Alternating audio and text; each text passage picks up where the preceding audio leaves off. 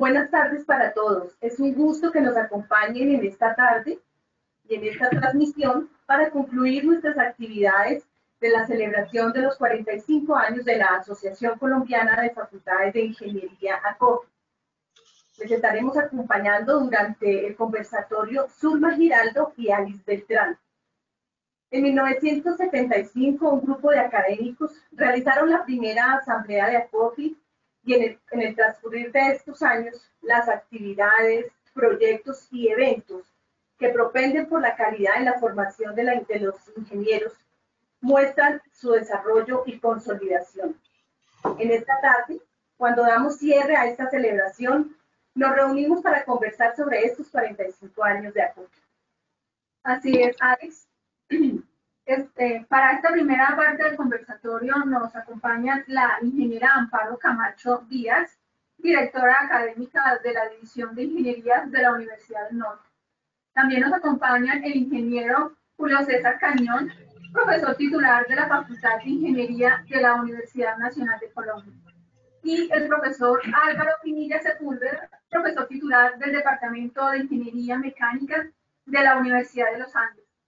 Nuestros invitados especiales han sido testigos del trabajo misional de ACOPI y han participado y apoyado a la asociación en distintos procesos y en distintos momentos de su historia. En la segunda parte de este conversatorio sobre los 45 años de ACOFI tendremos las intervenciones del presidente de la asociación, el ingeniero Roberto Carlos Incapié Reyes, y de su director ejecutivo, el ingeniero Luis Alberto González Araújo quienes nos compartirán sus apreciaciones sobre la perspectiva de ACOPI. En estos 45 años de trabajo de ACOPI, ha sido dirigido por un grupo de destacados ingenieros. El ingeniero Roberto Enrique Montoya Villa nos comparte un poco lo que fueron esos inicios de las pruebas ECAES o Isabel Pro. Que en, ese entonces, en esos años 2003, eh, había un, crecimiento desmesurado de, de programas en el país una diversificación de las denominaciones de programas de ingeniería, con lo cual si bien había una respuesta a la demanda, sí había serias dudas en ese momento sobre la calidad de los programas. Eh, había también una, una realidad y era cada vez un mundo más globalizado, donde era fundamental obtener un reconocimiento de los títulos, una homologación, y eso fue lo que llevó en su momento a que el gobierno, con la comunidad académica, y no solamente de ingeniería. Eh, a nivel de la educación superior, eh, digamos, embarcar en una cruzada, en una realmente una verdadera apuesta por, eh, por mejorar la calidad de los, de, los programas. Y en ese momento entonces se definieron una serie de instrumentos para mejorar la calidad. Estaban los estándares mínimos, lo que es la, digamos, la habilitación para, que, para poder ofrecer un el registro calificado de programas. Aparecieron entonces la acreditación de alta calidad de programas unida con la acreditación institucional y los exámenes que deberían tomar los estudiantes de las diferentes carreras antes de graduarse, los que se denominaron ECAES y posteriormente eh, Saber Pro. Todos eran eh, instrumentos encaminados a mejorar esa calidad de los programas de ingeniería.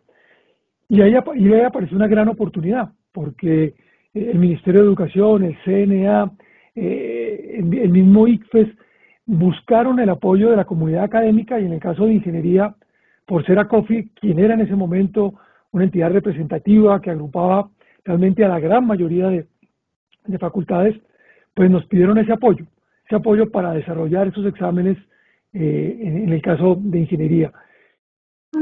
Iniciamos el conversatorio con el ingeniero Álvaro Pinilla, quien acompañó el proyecto Macro, que cimentó la calidad asociada a la evaluación en ingeniería, del cual no se tenía referencia en el país, como bien lo cuenta el ingeniero Montoya. Ingeniero Pinilla, quisiéramos escuchar cómo fue su experiencia en este proceso y el alcance que tuvo ese trabajo en el tiempo. Si logran ver la pantalla, aquí yo quise hacer un resumen de lo que ha sido mi, mi experiencia con la calidad de la educación superior. Entonces traté de hacer como un recuento histórico de las actividades en las cuales yo he estado involucrado. Eh, quiero hacer mención al primer proceso, el primer proceso en el cual eh, tuve la oportunidad de participar fue en 1990, en la cual la Facultad de Ingeniería de la Universidad de los Andes se quiso acreditar a través de la, de la Agencia de Acreditación para Ingeniería y Tecnología. En esa época no existía una acreditación como tal, sino una, un grado como de equivalencia sustancial. Eso me permitió entrar en contacto con ese, en ese momento con el que fue el presidente del ASME, presidente de la Asociación Americana de Ingenieros Mecánicos, el profesor Leroy Fletcher, y eh, hicimos una intensa amistad con el tiempo. Y en una de las recomendaciones que nos dieron para mejorar la calidad del programa, pues era que deberíamos tener o exponer los estudiantes algunos exámenes de orden estatal para eh, compararse con algunas universidades. Por supuesto, en ese momento no estaba en pie ni siquiera el cambio en la Constitución a la Ley de Educación y lo que hice en esa época fue indagar la posibilidad de traer a Colombia, a la universidad, los exámenes que se realizan hoy para calificación profesional en, eh, en Estados Unidos. Eh, tanto así que me tocó ir a presentar el examen, entender en qué consistía y mucho de lo que después se vio reflejado en el año, digamos, 2002 a través de las, del examen de ECAES o formalmente llamado ESES, originalmente, ¿no? En el gobierno de Pastrana, pues eh, fue un insumo muy interesante los exámenes de, eh, de, la, de la digamos, de la que presenté en Estados Unidos, mucho se vio reflejado en los, en los resultados del ESES. Pero para llegar allí vale la pena mirar algo que valdría la pena hacer mención y es eh, lo que sucedió con, en el año 95, con el liderazgo de Jaime Salazar, me pidió que coordinara lo que era el, digamos, el actualización de los programas de ingeniería mecánica en Colombia. En ese momento eh, lo que hicimos fue aglutinar a todos los directores de ingeniería mecánica del país. En ese momento había cerca de unos 25 programas. Logramos reunir a cerca de 20 eh, directores de departamento y profesores universitarios. Eh, y lo primero que tuvimos que hacer fue conocernos, conocer los programas, identificar similitudes, identificar diferencias en los programas, potencialidades, eh, y lo que hicimos fue varias reuniones a lo largo de un año en la cual logramos desarrollar un documento, el cual me tocó editar a mí junto con el acompañamiento de Jaime Salazar, y este documento de actualización se convirtió como en como en una referencia a lo que algunos programas decidieron, digamos, adoptar para, para mejorar la calidad. En ese momento, precisamente en el año 95, hicimos una reunión en Medellín. Esa reunión tuvo lugar el día en que se inauguraba el metro de Medellín y la, la actividad turística era montarse al metro, ¿no? Como todo pueblerino, eh, y allí tuvimos la presencia en ese momento del presidente de AVET para hacer una presentación de lo que serían los criterios de acreditación a partir del año 2000.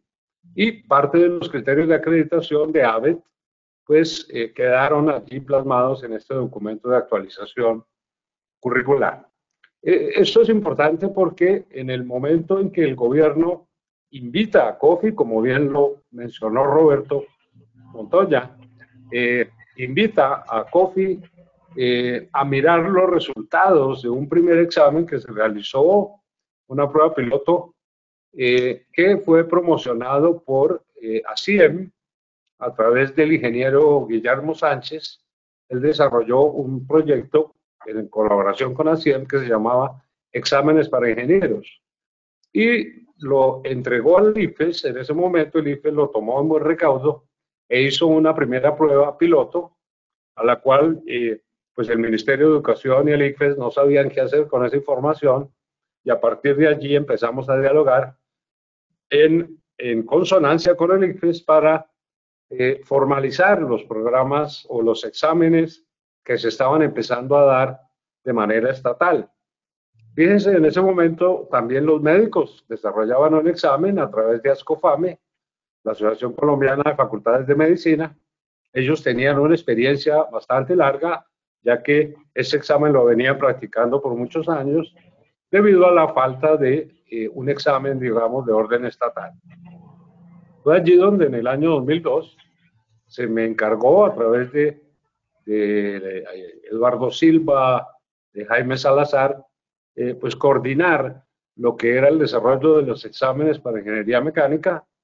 Eh, y fíjense que coincidencialmente la actividad que hicimos de actualización curricular, pues nos permitió aglutinar directores de departamento amigos, ¿no? Amigos, en el sentido de que habíamos logrado hacer una amistad interesante a través de la actualización de currículum y logramos elaborar lo que fueron un par de versiones. Primero, hacer unas especificaciones del examen para ingeniería mecánica y luego unas, eh, el desarrollo de los exámenes.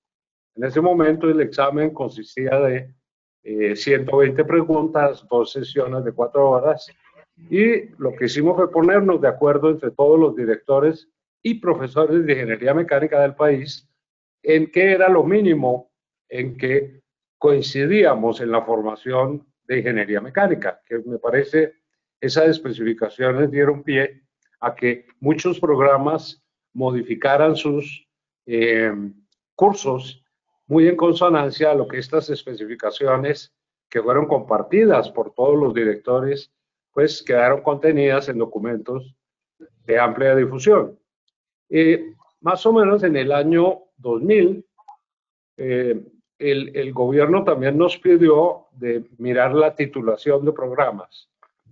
La idea era como tratar de, de ordenar, en ese momento habían 140 diferentes títulos de ingeniería ¿cierto? Y creo que le escuché una vez a Julio César Cañón que por un, por un pelito nos salvamos de tener ingeniería capilar. No sé si se acuerda Julio César. Pero por supuesto, claro. Eh, eh, el decano iba a ser Norberto en ese momento. Eh, aquí había programas de todo tipo de titulación, 104, y la idea de este trabajo de nomenclatura era tratar de reunir como en menor cantidad de títulos el trabajo. El gobierno, en ese momento, el ministro de Educación, ministro Lloreda, le presentamos el trabajo y eh, paralelamente venían trabajando en lo que se llamaba eh, el registro calificado. Y parte de lo que hicimos en ese documento quedó, quedó en el decreto 792, en el cual, eh, pues, se estaban mirando las condiciones mínimas de calidad para que un programa eh, de pregrado en ingeniería funcionara. Eh, en esa época propusimos 18, 18 programas de ingeniería tratando de que las universidades cambiaran los nombres, cosa que fue infructuosa la labor, ya que si hoy miramos deben haber por lo menos unos 140 o 150 eh, diferentes ofertas de ingeniería.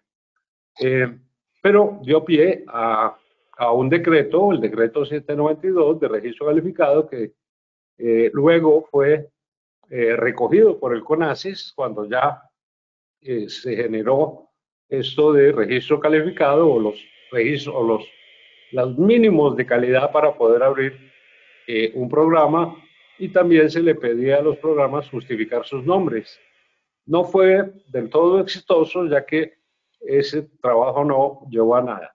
Pero lo que sí nos permitió fue en el año 2003 y 2004 desarrollar los ECAES, que ya en el gobierno de eh, Álvaro Uribe le dio el nombre de CAES a, em, a estos exámenes, ya los habíamos practicado tres veces en tres años seguidos con ingeniería mecánica y nos sentíamos confortables de, de ofrecer al resto de los programas de ingeniería dar un mayor cubrimiento. En estos 15 programas eran los programas más básicos de ingeniería, no cubría los programas que en su momento se estaban ofreciendo, como era ingeniería de cine y televisión, eh, en donde a los estudiantes les enseñaban a calcular pasarelas para modelos y demás. O sea, había un absurdo de programas de ingeniería que al día de hoy posiblemente uno lo mira 20 años después, son muy pertinentes, por ejemplo, el mecatrónica o programas en este momento de ingeniería de energía, eh, programa de, de, otros que están saliendo, la, la, Escuela Colombiana de Ingeniería abrió recientemente de Ingeniería Estadística. En este, momento, en ese momento estaban surgiendo los programas de Ingeniería Física. Entonces, lo que hicimos fue meternos en el desarrollo de la tarea de eh, desarrollar los, las especificaciones de 15 programas. Eso fue una tarea titánica. Eh, y poner de acuerdo a una población muy importante de profesores. Luego de ponernos de acuerdo en las especificaciones, nos tocó desarrollar dos versiones de exámenes que se aplicaron dos años después. Eh, y más o menos esto culminó en el año 2009-2010, en el cual se movió, los exámenes ECAES se movieron más, siempre tuve la impresión, más a, a responder a uno de los requisitos de la OCDE para que Colombia fuera aceptada a través de la OCDE o de la Organización de Desarrollo Económico, era un embeleco del presidente Santos, que finalmente lo logró y allí en uno de los, los puntos era que eh, se evaluara la calidad de la educación superior con unos exámenes que en su momento, y yo estoy seguro que posiblemente Amparo les va a comentar ahora en un instante, eh, cambió la manera de, de, de formularse lo que fueron los exámenes para, eh, digamos, calificar ingenieros. En ese momento hubo algún interés por parte de las sociedades profesionales eh, en tratar de que estos exámenes ECAES, ya que valoraran, valoraban el conocimiento de ingeniería, pues de alguna manera sirvieran como eh, elemento adicional a tener en cuenta para la emisión de la tarjeta profesional. Nunca lo logramos, ¿no?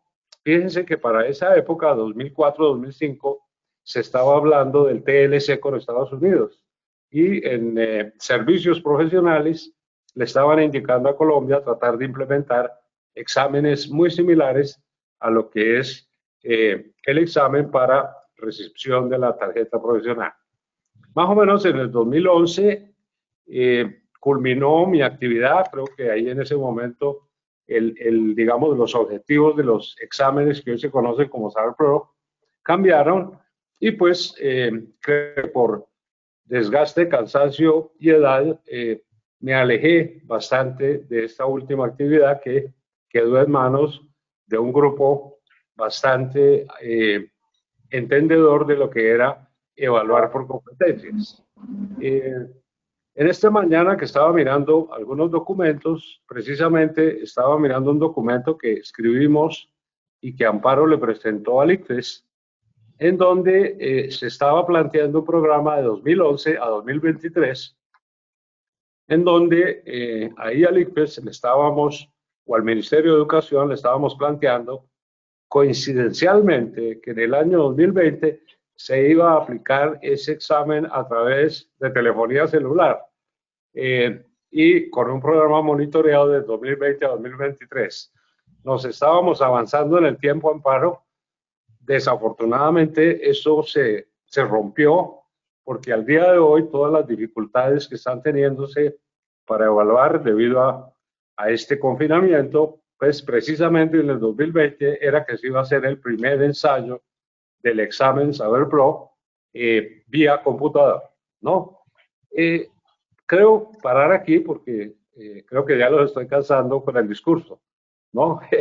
Así que les agradezco mucho la atención. Tengo que hacer referencia a esto ya que aglutinamos mucha gente. Fueron muchos los profesores que participaron en todo el desarrollo de este, de este proyecto de evaluación de la calidad, sobre todo como un apoyo al CNA, un apoyo a lo que también Conciencias hizo, porque en ese momento también se estaba evaluando la calidad de la investigación a través de los grupos de investigación. Eh, y por supuesto los exámenes eh, sirvieron para medir la calidad o sirven para medir la calidad de los, de los estudiantes a la hora de, de graduarse. Así que yo les agradezco mucho la atención y estaré disponible para cualquier inquietud o pregunta. Ingeniero Pinilla, si nos permite un minutito para ampliar algo sobre ese proceso de convocatoria nacional para reunir ese grupo, esa cantidad de preguntas para 15 denominaciones de ingeniería de unos exámenes de, de esa calidad. Eh, ¿Cómo fue movilizar a tantas personas, a tantos profesores en todo el país? A ver, si quiere, le muestro. Mire, aquí. Podemos ver esto. Este es un resumen, lo tomé. Por ejemplo, esto fue en el año 2004, donde convocamos a profesores de toda, de toda Colombia. Por supuesto, después de una cantidad de reuniones, nosotros logramos hacer 150 reuniones con eh, directores y profesores de estos programas de ingeniería, 15 programas. Programas de ingeniería geológica, minas, eh, ingeniería industrial, ingeniería electrónica, eléctrica, telecomunicaciones. Eh, por supuesto, hubo mucha molestia de parte de algunos decanos porque su ingeniería no quedaba allí. Por ejemplo, ingeniería geodésica, que es un solo programa en la Universidad Distrital. Eh, desarrollar un examen de estos es terriblemente costoso. Eh, lo hicimos con eh,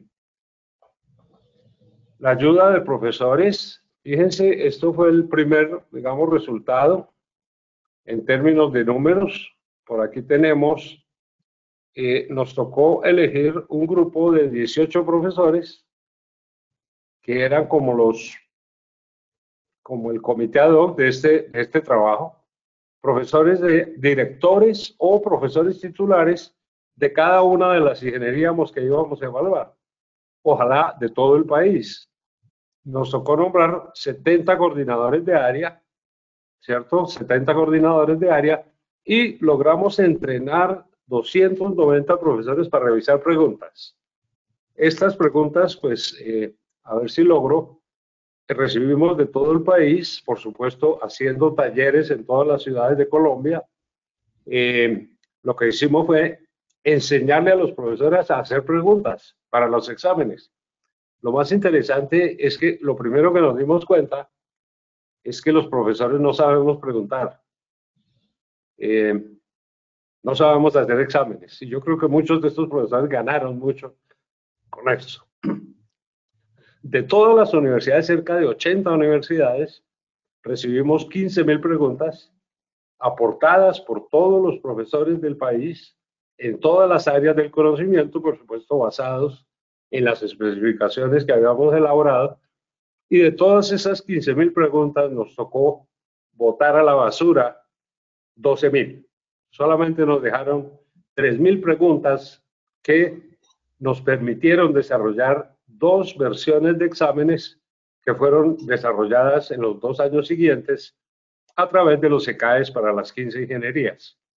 Esta cantidad de profesores que participaron eh, era impresionante y yo creo que la gran ganancia para todos ellos fue primero aprender a preguntar, aprender a hacer exámenes y al mismo tiempo darse cuenta que lo que enseñan en una universidad por allí en, en Ibagué es lo mismo que estamos enseñando en la Universidad del Norte o en la Universidad de Nariño o en la Universidad Nacional de Colombia. Y eso fue terriblemente útil. No sé si eso responde a su pregunta. Sí, gracias, ingeniero Pinilla. Eh, muchas gracias por compartirnos la experiencia de liderar este trabajo eh, de, las, de pruebas CAES y de todo lo que ha significado para la calidad de la educación superior. Para continuar con eh, nuestro conversatorio sobre los 45 años de ACOFI, hemos, también queremos compartirle un extracto que el ingeniero Carlos Cuartas, presidente de ACOFI, eh, nos compartió sobre su experiencia en la presidencia de la asociación. Eh, para él, la ingeniería no solo toca los aspectos, los aspectos técnicos, sino que también es importante la formación ética y humanística, y los invitamos a escuchar. El trabajo de la ingeniería es precioso, la profesión es una maravilla, como lo señalaba el padre Sarasola en los años 20 del siglo pasado, hablar de ingeniería es hablar de prodigio y hablar de civilización. Eso es lo que hacemos nosotros. y las facultades de ingeniería tienen en eso una gran responsabilidad. Eh, en el fondo estamos sobrados de tecnología, maravillosos recursos, oportunidades, pero la clave sigue siendo la misma, el humanismo detrás del ingeniero, los valores humanos, la ética y la responsabilidad. El ingeniero Julio César Cañón Rodríguez, docente de la Universidad Nacional, ha trabajado el tema de la cultura de la calidad en el aula, destacando el rol del docente. Por ese motivo, nos gustaría que el ingeniero Julio César Cañón nos compartiera cómo se involucra el proceso en el aula a los profesores, a los estudiantes, cómo es el, tema de la calidad, el discurso y también ese conocimiento experto llega a los estudiantes. Bueno, muchas gracias. Primero que todo, debo felicitar al profesor Álvaro por ese recorrido que nos ha hecho por la historia reciente de la calidad del aseguramiento y por ese toque sensible que hizo sobre la ingeniería capilar. Es algo, es una tarea que no sé, no la he cumplido, pero que sigue pendiente, profesor, porque no se desvirtúa.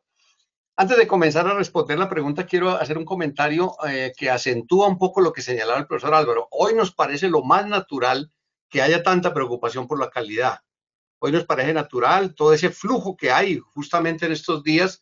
Eh, las organizaciones o las agencias acreditadoras de todo el continente se están moviendo definitivamente por la vía de lo virtual. No pudieron dar más espera y entonces están haciendo enormes esfuerzos para no dejar bajar la guardia y que las personas y las comunidades de las facultades y los programas y las instituciones sigan atentas. Eso es toda una ganancia que empieza por eh, elementos como los que señalaba el profesor Álvaro y seguramente nos va a recordar también la profesora Amparo. Eh, hubo unos momentos por allá a mediados de la década de los 90 donde uno sentía estar ciertamente en la clandestinidad cuando hablaba de aseguramiento de la calidad, cuando hablaba de acreditación. Yo recuerdo haber trabajado con un grupo muy simpático del cual hacía parte una persona que ha estado mencionando el profesor Álvaro un par de veces, el profesor Jaime Salazar.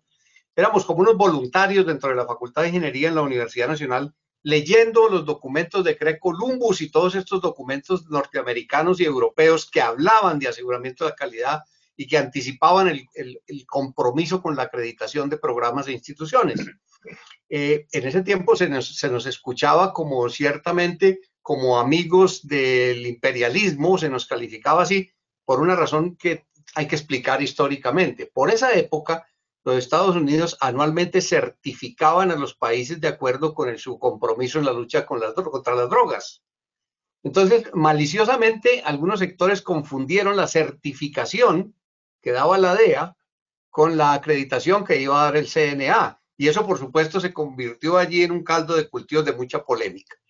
Por esa época, cuando señalamos lo de la ingeniería capilar, el gobierno andaba muy preocupado por esa proliferación de títulos de los que hablaba el profesor Pinilla porque era que era verdaderamente asombroso. la creatividad que faltaba en las aulas y en los laboratorios sobraba en los escritorios de los dueños de los programas, porque había ingenierías absolutamente inéditas. El gobierno mismo hizo unas propagandas que hoy no podrían circular seguramente. Y había una muy simpática donde dos chicos que van en un bus discutían sobre qué carrera querían estudiar. Y uno de ellos decía que iba a estudiar una ingeniería y e interrogado por el otro sobre qué ingeniería era, dijo ingeniería zoometalúrgica. Era una ingeniería que prometía enseñar a hacer animalitos con hierro. Entonces, por eso era zoometalúrgica. De esa magnitud eran los cruces de nombres y las combinaciones absolutamente, absolutamente creativas que tenían esas cosas. Bueno, allí empieza a gestarse todo este ejercicio y allí empieza una cosa muy interesante. Empieza a pedirse a los programas compromiso con algunos estándares mínimos ya había unos mecanismos de, no lo llamemos de aseguramiento de la calidad, sino de control de desempeños y funcionamiento, que eran los que tenía el ICFES, pero eran insuficientes para contener toda esa avalancha de titulaciones, de programas sin control, etcétera. Entonces aparece allí una cosa muy interesante. El CNA fue concebido inicialmente como resultado de la Ley 30 como el ejecutor de una política del Sistema Nacional de Acreditación y allí se pensaba inicialmente en acreditar instituciones. Pero al CNA le madrugaron, discúlpenme ustedes la terminología, le madrugó un problema y fue la aparición del decreto al que hace mención el profesor Álvaro, el famoso decreto 792, si no estoy mal, que se llama el 792 de una fría mañana del 8 de mayo del 2001. Ese día lo expidieron tratando de contener esa proliferación, ese desbordamiento. Y entonces allí había 16 estándares de calidad, así llamados. Y se le dijo a los programas, o ustedes demuestran que cumplen estos 16 estándares o no van a poder seguir funcionando. Y los que quieran entrar a este circuito de formación de ingenieros deben cumplir esos estándares. Esto que estoy diciendo conduce hacia la respuesta de la pregunta que ha, formulado Zulma. El CNA era el único y la única instancia que ya estaba relativamente conformada. No existía en ese momento lo que hoy se llama CONACES. Y entonces el CNA no solamente no se comprometió con la acreditación institucional, sino que demoró el inicio de la acreditación de alta calidad, así llamada, de programas, porque tuvo que enfrentar el problema de la avalancha de informes de programas de ingeniería que estaban dando cuentas del cumplimiento de los estándares señalados en el 792. Yo recuerdo que con el siempre querido y recordado profesor Eduardo Silva, no, no puedo precisar, pero por lo menos unos 100 informes leímos cada uno tratando de verificar si los programas cumplían o no con eso. Y ese día, y leyendo esos días, leyendo esos informes, uno entendía por qué tenemos un premio Nobel de literatura. Porque era extraordinaria la riqueza narrativa, toda esa posibilidad literaria de construir justificaciones y demostrar que todos esos programas eran magníficos. Por ahí empezó el asunto. Entonces ahí seguramente algunos salieron bien librados, otros no tanto, y ahí comienza ese recorrido de lo que se llama el registro calificado. Ese decreto 792 tenía unas, unos elementos muy interesantes. La mitad de esos estándares desaparecieron con el tiempo, algunos incluso injustamente como por ejemplo un estándar que obligaba a cumplir ciertos requerimientos de mesura, desde, como de respeto hacia el público en la publicidad de los programas. Recuerdo que ese era el estándar número 16. Y allí se decía, no diga cosas que no puede cumplir, no ofrezca cosas que no sea capaz de satisfacer.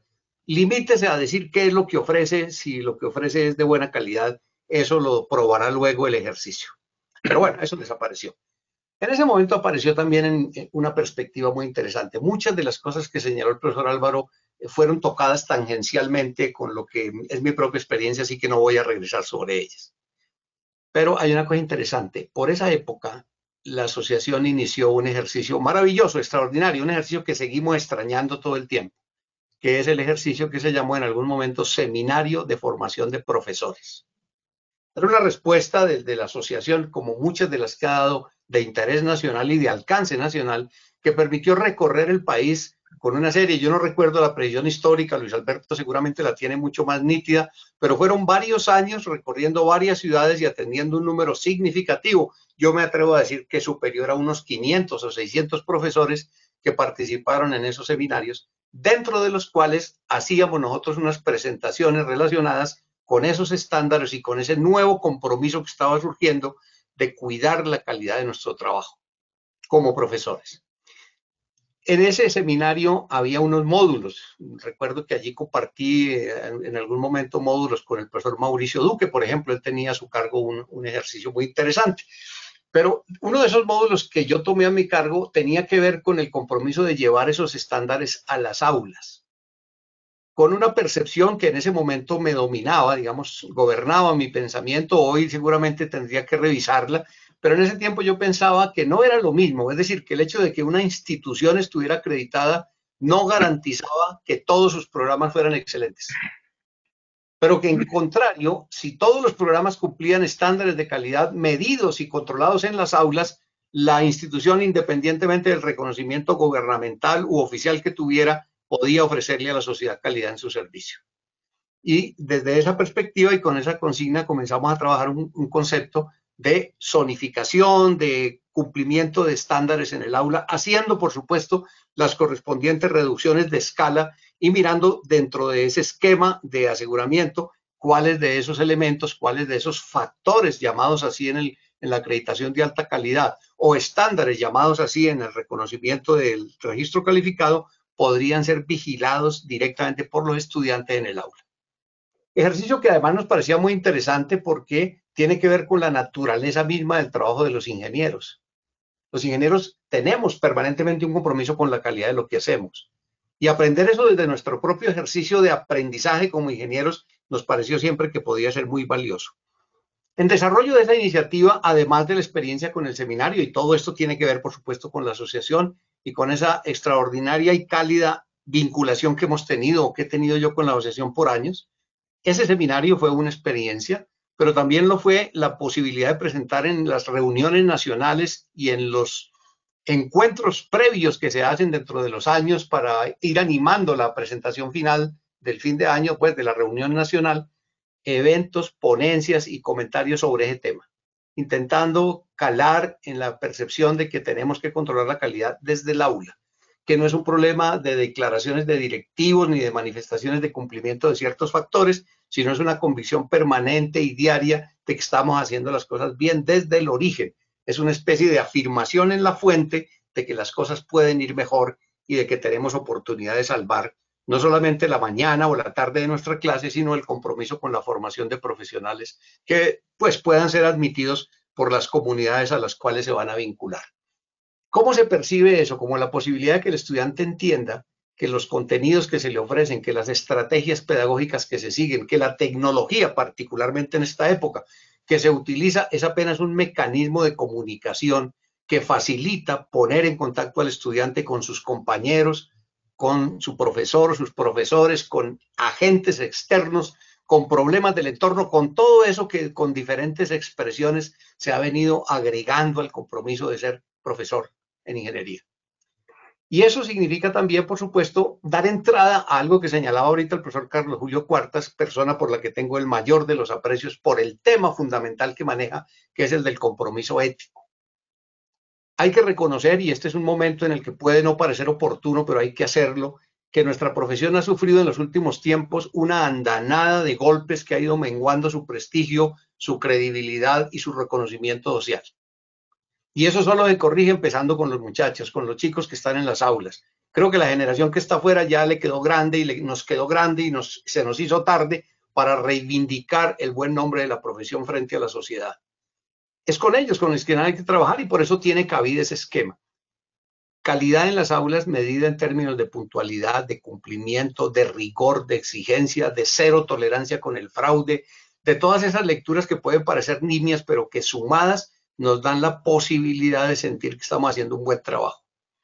Eso tuvo algunas posibilidades, por supuesto, de exposición, de presentación, luego se escaló eso a algunos eventos internacionales pero como suele pasar con muchos de estos entusiasmos de tipo quijotesco individual, pues no prospera para ser adoptado como una especie de pensamiento pues generalizado.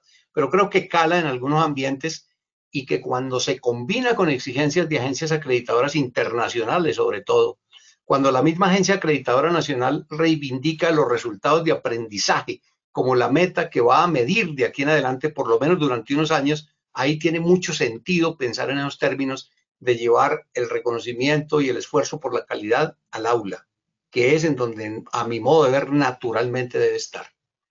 Entonces, como dije, muchas de las cosas en las que el profesor Álvaro Pinilla hizo mención, no solamente tuvo el privilegio de compartir con él e incluso con la profesora Amparo algunas de esas jornadas memorables, siempre pienso que si alguna vez reivindican o resucitan los cantores de gesta, si hay alguna vez juglares en el futuro, tendrán que dedicarle un canto a este grupo básicamente pues por el esfuerzo que ha hecho.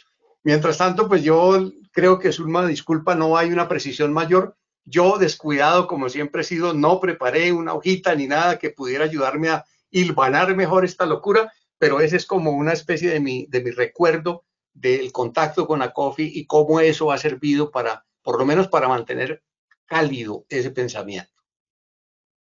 Muchas gracias, ingeniero César Cañón. Más adelante también podemos ampliar esa experiencia.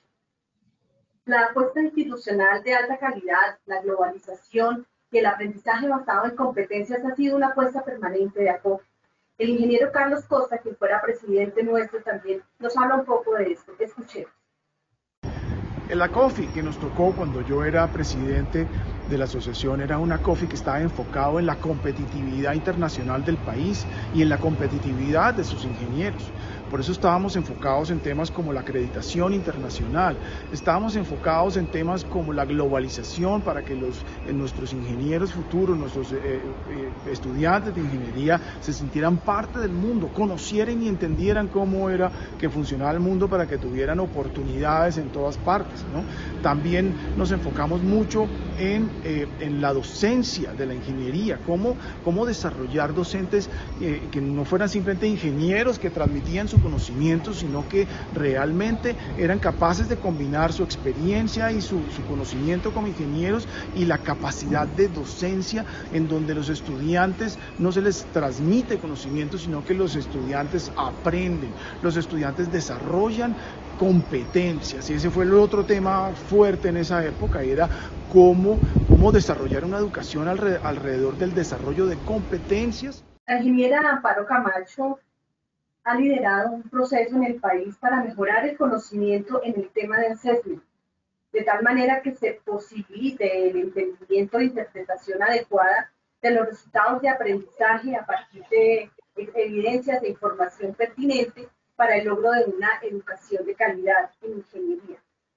Ingeniera, eh, ¿puede contarnos cómo ha sido este proceso de consolidar en la comunidad académica de ingeniería del país las buenas prácticas de assessment que promueven la cultura de la calidad en las facultades, escuelas y programas de ingeniería. Bueno, primero que todo, muy buenas tardes a todos quienes nos escuchan, quienes nos ven, que quiero expresar me siento muy complacida por esta invitación que me ha hecho a COFI, asociación a la cual aprecio y respeto mucho por el enorme trabajo que ha hecho en pro de, la calidad de la educación de los ingenieros en nuestro país y también me siento muy complacida por estar compartiendo hoy como panelista con Álvaro y con Julio César, eh, con quienes en algunas oportunidades en el pasado hemos compartido eh, diferentes actividades y horas de trabajo en diferentes temáticas que ellos han venido referenciando con anterioridad.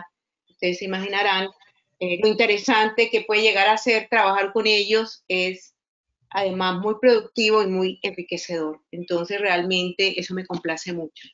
Con relación al tema del assessment, pues yo tendría que empezar primero que todo por decirles que, que lo primero que se presenta cuando hablamos de este tema, cuando nosotros mismos en la Universidad del Norte, porque desde allí sea su génesis, empezamos a hablar de esto, no porque no lo hayamos inventado nosotros, ni mucho menos, pero porque lo empezamos a estudiar lo empezamos a entender y lo empezamos a practicar. Desde ese mismo momento, la primera, no quisiera llamarla dificultad, pero también lo que inicialmente puede generar algo de inquietud es la misma palabra. Y entonces, assessment, ¿qué es eso de assessment? ¿Qué significa assessment? Ahora están inventando algo nuevo, entonces ahora tenemos que pensar en algo nuevo. ¿Qué es esto del assessment? Entonces, empezando por allí, ya ustedes entenderán pues toda la tarea que se tiene al frente para poder hablar más allá de la palabra assessment, lo que está detrás del assessment, todo el significado que tiene esto como proceso educativo, en el caso concreto que nosotros lo estamos aplicando para la formación de los ingenieros, en el caso nuestro de la Universidad del Norte y pues ya también eh, pues, en todas las universidades. Entonces es como una primera labor pedagógica que se tiene que hacer con todas las personas, llámese profesores universitarios, funcionarios administrativos, para el entendimiento de qué es esto del assessment, de dónde viene esa palabra, porque nosotros llamamos de esta manera algo que pudiésemos llamar de otra manera, porque esto no es nuevo, esto no existe ahora con esta palabra, realmente puede ser una forma diferente de verla y pues si somos claros, extraída del modelo que nosotros trabajamos en la universidad eh, con la Agencia Internacional de Acreditación EIBE, que decidimos mantener la palabra en el sentido y el significado global de lo que para nosotros significaba nuestro proceso educativo. Entonces, de allí en adelante hay que empezar a entender de qué se trata el assessment, empezar a entender que no es algo nuevo, sino que estamos haciendo alusión a un proceso que nosotros como profesores, y no solamente estaría hablando con profesores de ingeniería y no solamente como profesores de la educación superior, sino en cualquier nivel educativo, nos compete y es nuestra responsabilidad. Y que tiene que ver con el interés que nosotros y con la responsabilidad enorme que nosotros como profesores tenemos frente a estar educando, a estar formando unas personas que llegan a sus aulas aprender algunas temáticas en algunos cursos específicos sobre unas profesiones, en este caso ingeniería. Entonces, tenemos que empezar por allí, por hacer esa labor de pedagogía, de entendimiento de qué es el assessment, cómo lo estamos haciendo, entender que no es algo extraño, no es algo ajeno a lo que siempre veníamos haciendo, entender que no es algo que está implicando unos niveles de complejidad y de trabajo muy altos a los profesores porque siempre existe esa preocupación, esa inquietud, pero entonces ahora yo como profesor tengo que adicionalmente empezar a hacer toda una serie de actividades adicionales. Cuando muchos profesores expresan que están trabajando mucho, y no hablemos de, de, de esta situación, vamos a hacer esa abstracción de la que estamos viviendo ahora, sino en la normalidad que traíamos con anterioridad a la pandemia. Entonces, hay que entender el proceso como el proceso que está inserto, está embebido dentro de lo que es educar personas. Y es la responsabilidad que nos atañe a todos como profesores cuando estamos educando, porque yo necesito responsabilizarme, necesito saber que esa labor que yo está, que estoy haciendo, pues realmente está produciendo unos frutos en, este, en, este, en, esta labor de, docencia, que son los aprendizajes de estos estudiantes. Y que para ello, pues yo tengo que, de una u otra forma, verificar que si esos aprendizajes se están dando. Entonces, es toda esta labor pedagógica que hemos tenido que hacer en la Universidad del Norte, donde nosotros comenzamos, donde, pues, por supuesto, había profesores al inicio escépticos frente al proceso bastante entendible, por cierto, y que luego, en la medida que se va entendiendo, que se va practicando, que lo vamos mirando con otros ojos, con ojos distintos, nos empezamos a dar cuenta en qué consiste y qué beneficio o qué valor realmente nos, nos está trayendo el desarrollo de este proceso. Esto sucede en todas las en todas las instancias donde estamos trabajando este proceso con este nombre. Lo digo por eh, la cercanía que he podido tener con otros profesores de otras universidades diferentes a la propia donde yo trabajo, donde hemos estado desarrollando estos temas, donde hemos estado discutiendo estos temas.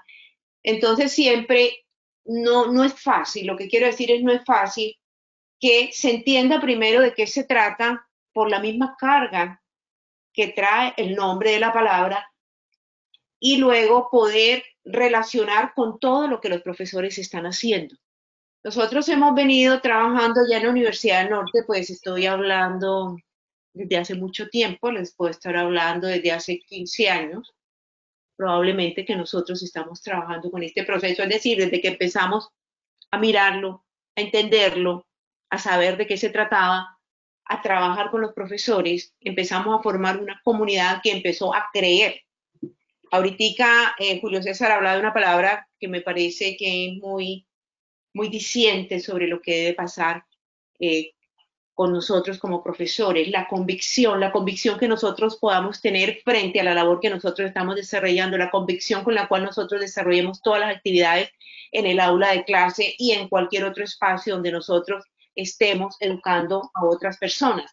Entonces, mientras se da ese proceso de convicción, ese proceso de entendimiento y de ver que realmente hay unos resultados favorables, puede tomar semestres, puede tomar años, entonces es un proceso que es un poquito largo en el tiempo y eso ha pasado en todas las universidades o en todas las escuelas de ingeniería donde se ha empezado a hablar de este modelo, donde se ha empezado a hablar de este proceso.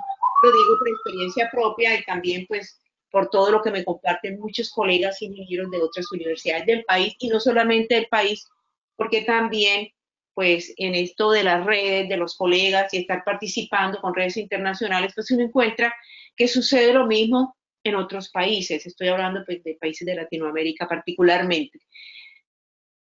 No es fácil el proceso en el sentido del entendimiento, pero una vez que se entiende, una vez que se empieza a interiorizar, pero más allá de interiorizarlo, una vez que se empieza a vivenciar, porque esto hay que vivirlo, porque no hay otra manera de entenderlo, se empiezan a ver los resultados que puede traer este proceso en la educación de nuestros estudiantes. Y se empieza a entender que es lo mismo que hemos venido haciendo, pero tenemos que hacerlo de una manera más ordenada, de una manera más sistemática, de una manera donde tenemos que manejar datos muy bien organizados, donde tenemos que hacer unos análisis mucho más organizados y donde realmente podamos entender qué está sucediendo con el aprendizaje de los estudiantes, que lo podamos evidenciar. Ahí la palabra clave también es evidenciar.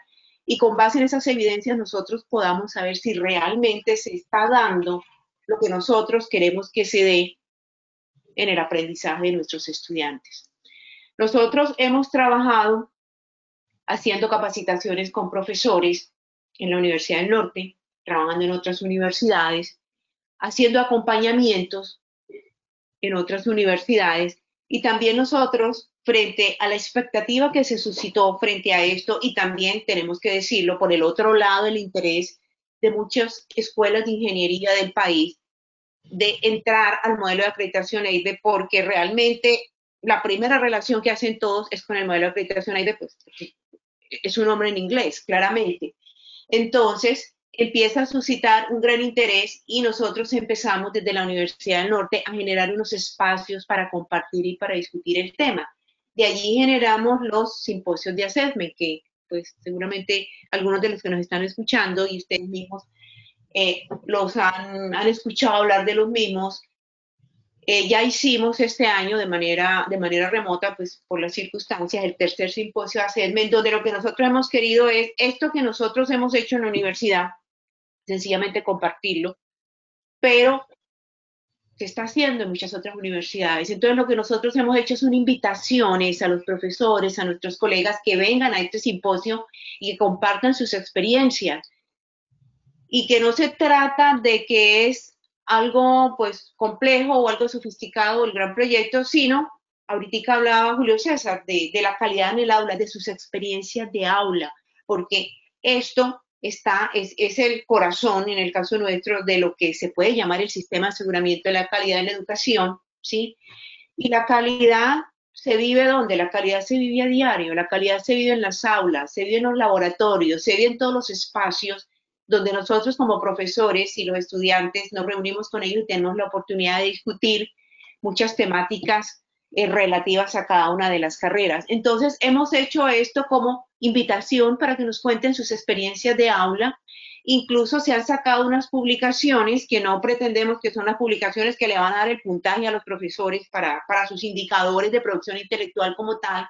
Seguramente algún día eh, podemos llegar a, a tener esta, estas indexaciones con estas publicaciones que permitan eso pero eh, el, objetivo ha sido de difusión, de divulgación, de compartir. Entonces hemos hecho publicaciones sobre estas experiencias que han desarrollado profesores en diferentes universidades. Entonces ese es el camino que nosotros hemos venido recorriendo cuando empezamos eh, con este proceso de assessment, que lo que queremos es que se entienda que va muchísimo más allá de lograr la acreditación con una agencia internacional que inicialmente se pudiese mirar solo por esa intención, es válida, es legítima, pero va muchísimo más allá de esa intención de lograr una acreditación, sino realmente la intencionalidad, lo que tiene que estar detrás, es que esto promueva, fomente y nos permita realmente que se dé la calidad en nuestros programas de ingeniería de acuerdo con esos con esas ambiciones de calidad, por decirlo de alguna manera, que nosotros nos proponemos en cada uno de nuestros programas de ingeniería.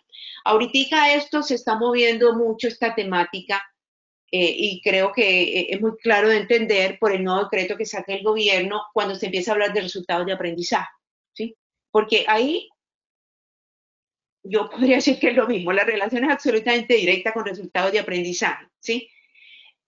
Pero hay muchas instituciones, hay muchos colegas, ingenieros, muchos eh, directivos de escuelas de ingeniería que tienen una gran preocupación porque si nosotros estamos regulados y nosotros tenemos que tener un registro calificado, pues obviamente todo esto claramente se entiende. Y también queremos los programas quieren aplicar una acreditación de alta calidad, en este caso con el CNA en el modelo colombiano, pues entonces ahora el modelo que se va a utilizar es el de resultados de aprendizaje y entonces se preguntan mucho, ¿y qué pasa con el modelo que yo traía anteriormente? Y, y ahora esto, ¿cómo le voy a hacer? ¿Y esto cómo, cómo, cómo se escribe? ¿Esto cómo se entiende? Entonces, yo creo que en estos momentos ese interés que es tan grande se debería canalizar en el sentido de un entendimiento completo sobre la base de los aspectos de una educación de calidad. Y eso es lo que nosotros hemos querido venir proponiendo, hemos venido proponiendo con el proceso de assessment.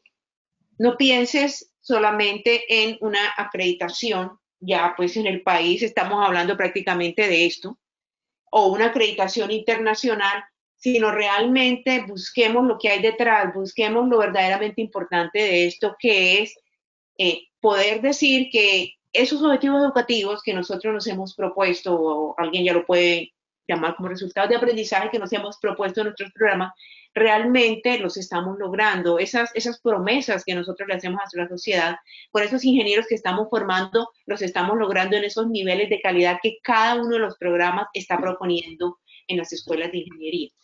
Eh, el proceso con el assessment, como les digo, no ha sido difícil, ha sido más que todo un proceso de pedagogía, de entendimiento de qué, de qué es el assessment, de que realmente sí se entiende y se interioriza y se aplica como lo que es con la intencionalidad que realmente se debe dar, pues nos está ayudando en el sentido de hablar de la calidad de eso que decimos que es tan difícil de, por un lado, pues de definir, a veces de, de, palpar en nuestros programas de ingeniería. Es decir, estamos hablando de lo mismo en este momento. Está el assessment y lo miramos nosotros como ese, ese centro de nuestro modelo que realmente direcciona y ese hilo conductor que nos permite a nosotros hablar de que podemos entregar los ingenieros con esos niveles de calidad, si se quiere decir de esa manera, que nosotros mismos estamos proponiendo. Entonces yo diría que esto es lo que nosotros hemos venido y eso es la, en el fondo, de una manera muy simple, de una manera muy sencilla, la propuesta que nosotros eh, hemos desarrollado y lo que le estamos diciendo a nuestros colegas. Esto no es más que esto, esto no es más que esto, no, no pensemos en, en algo que no es, porque realmente por una terminología que de pronto no, no está correctamente interpretada o no nos es propia, eh, nos complicamos con temas que no son. Entonces, eso es lo que nosotros hemos venido desarrollando, eso es lo que nosotros queremos seguir haciendo, es lo que nosotros estamos siguiendo desarrollando en nuestra universidad y lo que hemos venido compartiendo con todos nuestros colegas del país, pues se entiende que en todo este proceso ACOFI ha sido un gran apoyo, ACOFI nos ha apoyado con los simposios, ¿sí? ha estado allí al pie nuestro apoyándonos, es decir, nosotros tenemos una relación, yo diría, de, apoyo mutuo en el sentido de que creemos en la asociación, creemos en todo lo que la asociación ha logrado a lo largo del tiempo y la asociación en algunos aspectos que nosotros venimos desarrollando, que ellos también creen, nos, dan apoyo. Entonces, en esto es lo que nosotros queremos seguir trabajando porque realmente este es nuestro modelo de calidad, así de simple. Y de esa manera nosotros lo hemos venido o lo hemos querido transmitiendo a todos nuestros colegas. Muchas gracias, ingeniera Amparo. Lo que usted nos relata es ese doble reto que tienen para lograr el entendimiento de la CESMAN en el país, pero también su interiorización para mantenernos y avanzar en la cultura de la calidad. Ah, en este momento, el ingeniero Luis Alberto González Araújo, director ejecutivo de ACOFI, nos pide la palabra. Adelante, ingeniero. Un gusto, un gusto saludarlos. Creo que las reflexiones han sido muy profundas. Sin duda, el trabajo de los profesores Pinilla, Camacho y, Cañón ha sido muy importante dentro de la, de la asociación y es un reflejo de, como decía el profesor Pinilla, es un dato de los 290 que colaboraron en ECAES y sin duda de cientos más que apoyan todo el quehacer de ACOFI. Eh, eso ratifica que el trabajo de ACOFI no es de un consejo directivo ni de una oficina administrativa, sino de toda la comunidad académica de ingeniería del, del, país, porque son muchos los frentes que, que, nos, que, atendemos permanentemente en la asociación. Quiero dedicar un espacio a tres, a tres, a tres cosas, muy brevemente, y qué pena interrumpir un poco la dinámica del, de este conversatorio. Eh, pero me parece importante, uno, voy a mencionar las palabras de la doctora Patricia Martínez Barrios, ella es actualmente rectora de la Fundación Universitaria de Libertadores, pero ella fue directora del ICFES en el trabajo que el profesor Pinilla mencionaba hace un rato del nacimiento del, del ECAES y de su nombre anterior, que no era el más agradable. Eh, Eh, después, ella como viceministra de Educación Superior también eh, estuvo en ese momento muy importante para COFI, que fue el Foro Mundial de Educación en Ingeniería y en el cual el Ministerio de Educación nos prestó un apoyo muy importante. Así que ella conoce muy bien desde una mirada externa, porque aquí estamos, aquí estamos reunidos quienes conocemos a COFI, pero ella con una mirada externa también nos expresó esto. No nos acompaña en la tarde de hoy porque tenía un compromiso fuera del país y por temas horarios pues, se le complicaba. Nos dijo esto. Felicito a Kofi por sus 45 años de servicio a la educación en ingeniería del país, periodo en el que han liderado las iniciativas más importantes en materia de calidad en educación superior, tales como la acreditación de alta calidad de programas, los primeros exámenes de evaluación de la educación superior ECAES Hoy Saber Pro, haber desarrollado los exámenes de mitad de carrera EXIM, la formación de profesores en nuevas metodologías, la acreditación internacional de programas, entre otros. Recuerdo a Kofi, sus directores ejecutivos y decanos de 1998 a la fecha, como los mejores coequiperos del gobierno y de las instituciones de educación superior en la gestión de la calidad de la educación a fin de poder avanzar en las necesarias transformaciones de nuestro país. Los congresos anuales de ACOFI siempre mostraban la vanguardia de la educación en ingeniería para transferir sus propuestas a otras profesiones y disciplinas. Siempre han sido los primeros en innovación educativa. Entonces, creo que resumen gran parte todo nuestro, nuestro quehacer. Quiero igualmente, aquí se han mencionado algunos nombres eh, de personas que que, nos, que, que, han, sido apoyo fundamental para COFI. Obviamente, su, cada consejo directivo, el liderazgo de cada uno de los, de los presidentes, obviamente de los directores ejecutivos, pero creo que no solo mencionar algunas personas, con las disculpas de que obviamente habrá varios que no, que no mencionaré, pero creo que sin duda el trabajo de, Jaime, de Jaime Salazar, cuando fue director ejecutivo de COFI, también fue vicepresidente, Daniel Bogoya en el, en, el ICFES, que fue un periodo muy importante para, para COFI, Julián Mariño también en el ICFES, Daniel Castelblanco, personas que ya nos acompañan, como el profesor Luis Ernesto Blanco, con el cual hicimos esa maratónica tarea del, seminario de formación de, de, profesores. En ese gran desarrollo del proyecto de CAES, ayer lo recordábamos con el profesor Álvaro Pinilla, a la doctora Rosalía Díaz, que ya nos acompaña, que detrás de todo ese manejo de ingeniería había un trabajo grandísimo de trabajo de trabajo, de, trabajo de psicometría, de elaboración de pruebas, de la elaboración técnica de las pruebas, que era tan importante como la, la parte académica, la doctora Olga Rodríguez, que, nos sigue colaborando con nuestro examen EXIM, profesores como Francisco Viveros, Osvaldo Bustamante, Rodrigo Barbosa, David Fernández, obviamente Mauricio Duque, que ha sido también parte fundamental de muchos de los trabajos que, que, desarrollamos en la, en la asociación, y así muchísimos muchísimas personas más, pero quería destacar algunos que siempre nos han estado acompañando y que siempre han sido parte activa de la asociación. Y ya un poco menos formal, porque obviamente aquí hay una, un análisis muy juicioso de esos, de esos trabajos y que ha correspondido como a, la dinámica propia de, de, de, Acofi y, escuchando y recordando, viendo, viéndolos a ustedes, profesores Pinilla, Amparo y, y Julio César Cañón, acordándome de varias cosas. La ingeniería capilar es una historia espectacular de la cual usted alcanzó, profesor Cañón, acuérdese, hacer algo del plan de estudios, que incluía materias muy serias como la mecánica de fluidos, que es necesaria para las cuestiones capilares, y cursos como molestábamos con el profesor Jaime Salazar, CASPA 1 o CASPA 2. Entonces, todo eso, usted ha que hacer un ejercicio bastante, bastante juicioso. Me acuerdo, profesor Pinilla, y se acuerda usted en la puerta de la Hemeroteca Nacional, cuando la administraba el ICFES, hubo una etapa que se llamaba juicio de expertos de la prueba de CAES, que era lo que hoy llamamos grupos focales o validación final de la prueba, en la cual nosotros invitábamos a profesores, después de elaborar las preguntas, invitábamos a profesores de máximo reconocimiento en el país para que resolviera el examen o una porción del examen ECAES. Efectivamente había unos que en 15 minutos chuleaban y efectivamente contestaban todo perfecto, eso es muy sencillo. Pero había unos muy especiales que decían, ay, se me enfermó el perro.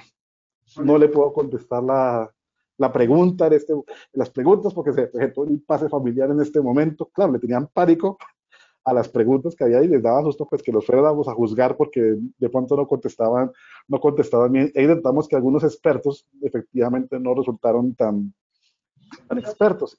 Y acordándome del, pues al margen de, la, de, la, de las consideraciones académicas del seminario de formación de, de, profesores con toda su rigurosidad, tengo muy presente que algún año estábamos en Barranquilla, en el seminario de formación de profesores, y el primer día, que fue, eso era jueves y viernes, el jueves había 50 profesores, muy juiciosos, muy trabajadores, el viernes en la mañana ya había un poquito menos, y por la tarde se bajó un poco más, lo que no y, y estaban muy arreglados, no sabíamos nosotros bogotanos, como el profesor Luis Ernesto Blanco, el profesor Mauricio Duque, es que era el viernes de Guacherna, en Barranquilla. Y obviamente, pues, la tarde se, ya tenía otra, otra connotación y obviamente los temas de, de calidad y de educación en ingeniería, pues no se priorizaban en esa tarde, pero claro, nosotros por simplemente olvido, claro, y nos notaban la incomodidad de algunos de ellos que ya querían como que se acabara la, la jornada, eran esos cosas de no conocer las agendas de las muchas veces de las de las ciudades, pero obviamente con un cuerpo profesional muy interesante allá. Quería contarles esto como un poco, salirnos también de, de, esta dinámica académica, de eso, y recordar una cosita pequeña, qué pena que se, que se, me, que se me pasó. La profesora Amparo y el profesor Pinilla mencionaban un poco que nos adelantamos en pensar en la prueba Saber Pro aplicada por computador, que debería en este 2020 tener una aplicación formal ya, porque así fue el, plan, pero nunca olvidaré las primeras reuniones que hacíamos por GoToMeeting, cuando estas aplicaciones todavía estaban lejos de ser lo que estamos haciendo hoy, y me acuerdo que el grupo de trabajo éramos cinco y los cinco hablábamos al tiempo, y no se podía tener un orden y era muy difícil y los problemas de conexión eran impresionantes. Es increíble ver ya 12 años después, 11 años después, que es nuestro ya modo de, de trabajar, pero esos primeros meses generan paro y por eso, pues, acuérdese, no era nada fácil esas reuniones por, por GoToMeeting. Quería simplemente hacer como estas pequeñas alusiones y agradecerles a la, gente que nos ha acompañado en la, en la tarde-noche de hoy. Gracias, ingeniero Luis Alberto. Eh, una última pregunta común para todos ustedes, para el ingeniero Amparo, el ingeniero Cañón y el ingeniero Pinilla es que ustedes han sido testigos de este trabajo de articulación que promueve COFI con diferentes actores y en diferentes escenarios para alcanzar sus objetivos misionales, la calidad de la educación en el país. Entonces, eh, nos gustaría que cada uno nos compartiera cuáles han sido sus aprendizajes, eh, que destacan del trabajo articulador del, de, ACOFI en el país. Podemos empezar con la ingeniera Camacho. Bueno, muchas gracias. Yo creo que con lo que ha hablado Álvaro, Julio César y pues lo que les expresaba, y como les decía, estamos hablando de lo mismo, son, son aspectos eh, que, forman un solo todo y estamos hablando de la calidad. Eh, tal vez yo diría la, mejor evidencia de, lo que ha logrado hacer a COFI por la educación de los ingenieros en Colombia, yo lo miraría como algo que es una realidad. Y es que a COFI, con todo su trabajo a través del tiempo, ha producido unos referentes que hoy en día casi que yo me atrevo a decir que son obligados en todas las escuelas de ingeniería del país cuando se trata de revisar el currículum, cuando se trata de pensar un nuevo programa, cuando se está diseñando algún nuevo programa, cuando se está revisando, cuando se están haciendo ajustes. Y eso no es fácil lograr. Lograr ser un referente es trabajo de muchos años y es muy meritorio y realmente para lograr llegar a ser un referente es porque se tiene todo, se tiene o se ha logrado integrarte un cuerpo de conocimientos que se requieren para llegar a, ese sitio, de lograr ser un referente. Yo me atrevo a decir que ACOFI en estos momentos es ese referente que en las escuelas de ingeniería del país, en Colombia, y casi que me atrevo a decir que en otros países en Latinoamérica, miran con mucho respeto.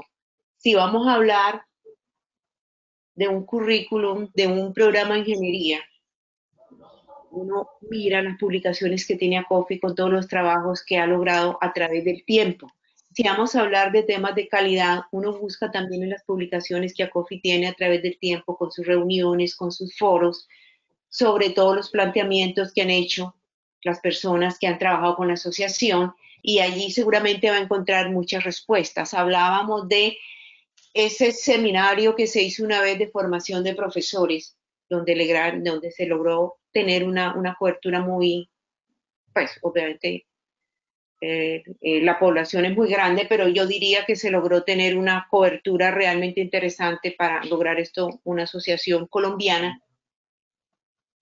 Sí, vamos a mirar ahora mismo cuando ACOFI empieza a trabajar con la investigación, con los doctorados, a trabajar con los directores de los programas de doctorado de las ingenierías, entonces ya empieza a aparecer otra vertiente muy importante de la educación en los niveles de la educación superior. Y todo esto lo logramos integrar, nos damos cuenta de toda la importancia de ACOFI, cómo ha logrado el mismo articular desde diferentes vertientes todo un sistema que permite a las escuelas de ingeniería, por decirlo de esa manera, acudir a COFI cuando requiere trabajar con temas de educación e ingeniería. Entonces, para mí, lo más importante es eso, es que ACOFI ha logrado articular todas estas diferentes áreas o todos estos diferentes campos de los cuales, pues aquí se, digamos que se tiene una muestra, una muestra importante, para convertirse en eso, en un referente. Yo lo he visto y, cuando yo tengo algunas presentaciones y estamos hablando de programas eh, de ingeniería y cuando estamos hablando de referentes y yo hago la diapositiva de los referentes, uno de los que tengo ahí es ACOFI entonces, que eso se logre realmente es una clara demostración de todo el trabajo de calidad, y ahí sí me atrevo a decirlo, de calidad que ha desarrollado la asociación a través de estos años, que pues depende de la escala de tiempo con que yo la mire, que pudiera parecer en un momento determinado muy corto tiempo, en otros, pues si lo miráramos con un estudiante nuestro de la universidad diría, no, pues una pila de años. Entonces, ahí se está mostrando todo ese trabajo que ACOFI, que ACOFI ha logrado y que lo ha logrado articular. Álvaro hablaba de, los exámenes, obviamente si hablamos de calidad, estos exámenes de Estado que son exámenes externos a las instituciones, a los programas de ingeniería, son absolutamente valiosos cuando nosotros queremos evaluar temas de calidad en un programa, ¿sí? Si hablamos de eh, los profesores, de la formación de los profesores, pues se requiere de manera absoluta de los mismos, de las mismas propuestas de qué compone un sistema de calidad de, en la educación de los ingenieros, que de esas las tenemos claras desde ACOFI, pues estamos hablando de cómo eh, ACOFI pues realmente ha logrado cumplir con su misión. Creo que todas las instituciones tenemos escrita la misión y es muy interesante verlas allí escritas, pero realmente el punto es quiénes realmente logran su misión. Y yo creo que ACOFI ha logrado realmente su función mediante la articulación de todos estos aspectos que tienen que ver con qué, con sencillamente educar ingenieros con niveles altos de calidad en Colombia y ha servido también de referente para escuelas de ingeniería de otros países. Creo que esto, con esto yo estaría diciendo la importancia del trabajo que ACOFI ha logrado a través del tiempo. Muchas gracias, ingeniera. Ahora escuchamos, lo escuchamos a usted, profesor Julio César Cañón. Bueno, muchas gracias.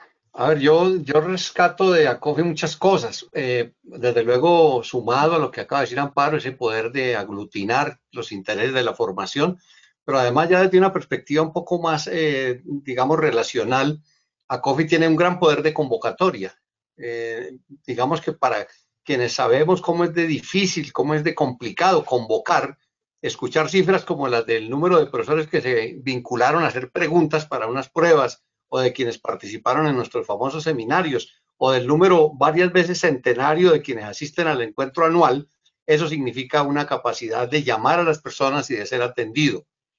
Pero además de eso, ACOFI tiene una, digamos, me da una enseñanza muy interesante en el sentido de que es una asociación profesional académica, digamos, no propiamente es académica pura, pero tiene una enorme capacidad de relación con el gobierno. Entonces, de esos proyectos que mencionábamos hace un rato, los, históricamente más llamativos, todos fueron una alianza formal, absolutamente lógica, con el ICFES, por ejemplo. Eh, llamarse o ser llamado por el Ministerio de Educación para opinar sobre la construcción cuando ha habido posibilidades de reformar la estructura de los, de los, de los lineamientos de acreditación y se ha pensado de pronto en tener algo apropiado para ingeniería.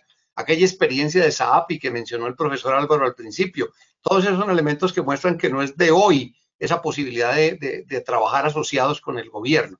Pero además de eso, porque tiene también una capacidad de relación internacional eh, no son muchas las, digamos, las eh, demostraciones, pero son muy importantes.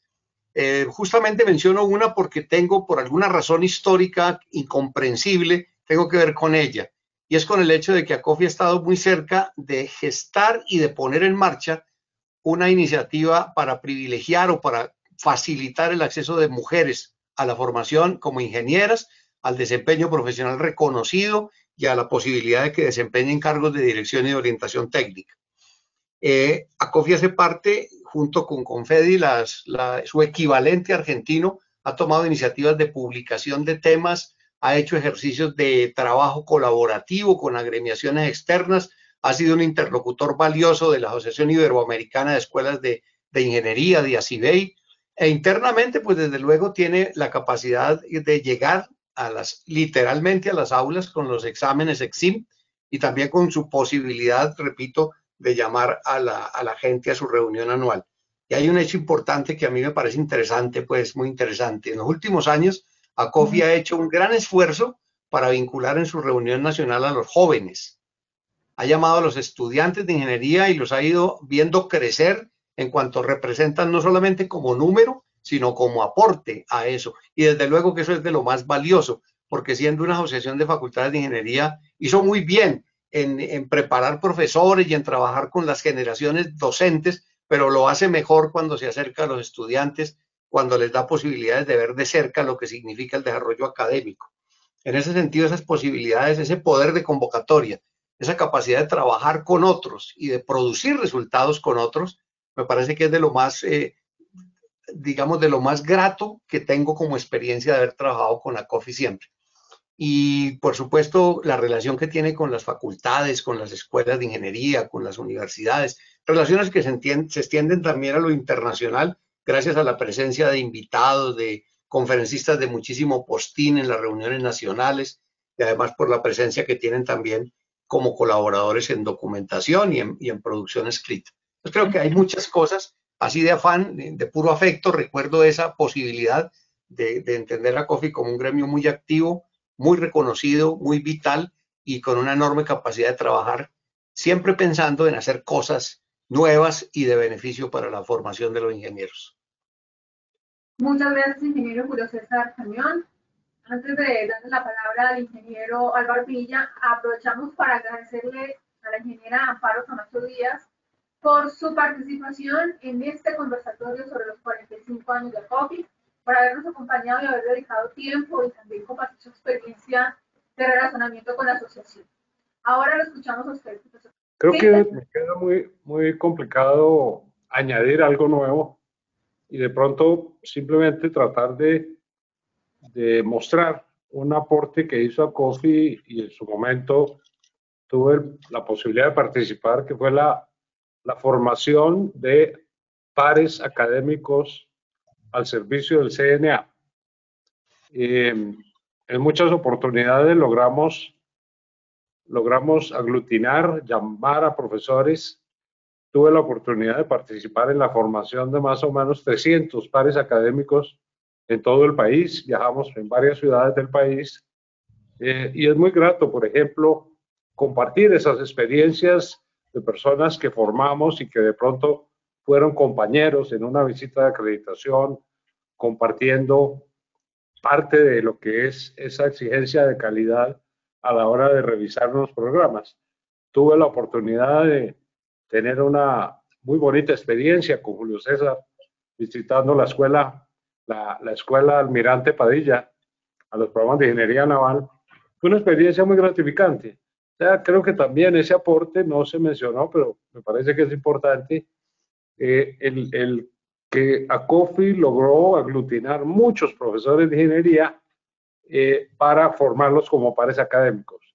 Cuando se formó el CNA, nadie tenía ni idea de qué era ser un par académico eh, y los primeros eh, que trabajamos en ello nos tocó pues ir a ciegas a ver qué era lo que encontráramos como soporte a esos documentos, eh, como bien lo mencionaba Julio César, eh, documentos muy bellamente escritos en un lenguaje español, justificando absolutamente todo lo que uno iba y de pronto no encontraba en las instituciones. Pero, pero creo que faltó ese elemento de mencionar, probablemente con las nuevas esquemas de acreditación se, se va a tener que retomar eso de de actualizar a los profesores para que hagan la mejor tarea, porque dense cuenta, la acreditación no se basa en quién es el coordinador del Consejo Nacional de Acreditación, no se basa en quiénes son los ocho miembros de ese consejo, se basa es en la multitud de profesores que van y miran con unos ojos diferentes a las instituciones.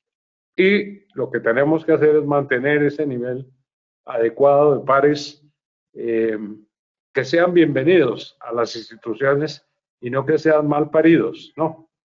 Bueno, muchísimas gracias a nuestros invitados, ustedes que han querido compartir con, con, nosotros, con, con, el público que nos acompaña, eh, la historia y los momentos históricos de lo que ha sido y de lo que ha hecho nuestra Asociación Colombiana de Facultades de Ingeniería. Muchas gracias.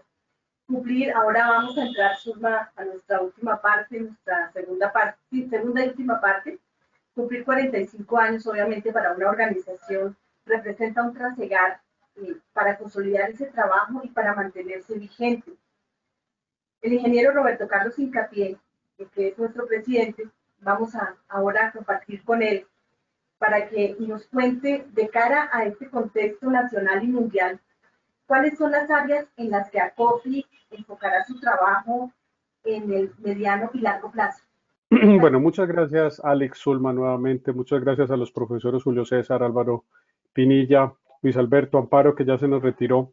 Pero realmente para mí es un honor estar aquí presidiendo la ACOFI actualmente como, como presidente sobre todo ver en todo este diálogo lo que ha sido como recibir esa bandera de lo que ustedes hicieron hace muchos años.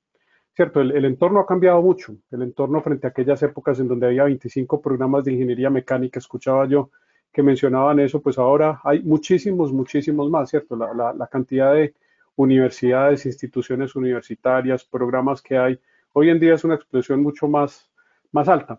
Pues eh, es, un honor haber escuchado todas las historias que aquí se, se tienen y es muy interesante entender como esos tres temas fundamentales en los cuales ACOFI ha venido trabajando y seguirá trabajando, que son principalmente el tema del relacionamiento.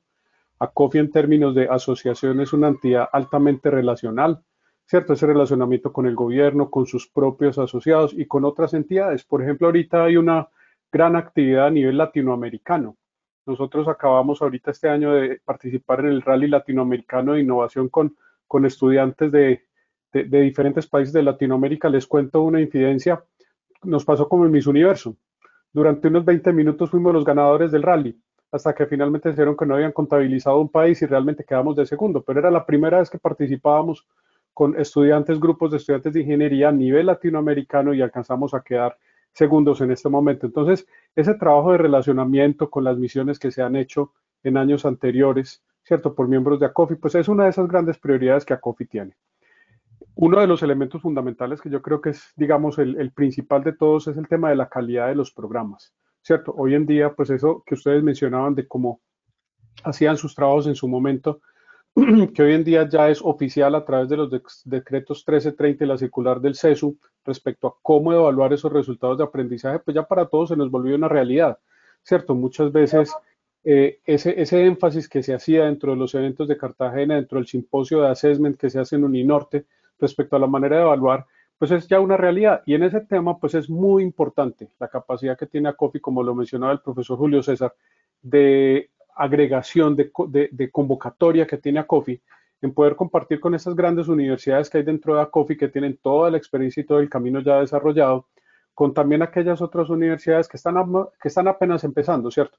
Y en ese relacionamiento es una gran capacidad que tiene ACOFI en esa convocatoria para que todos podamos ganar de la experiencia de los que ya han caminado. Es más o menos como se decía anteriormente, que uno está parado en hombros de gigantes, ¿cierto? Toda esa experiencia que se tiene ya en la formación de los ingenieros, pues poderla aplicar.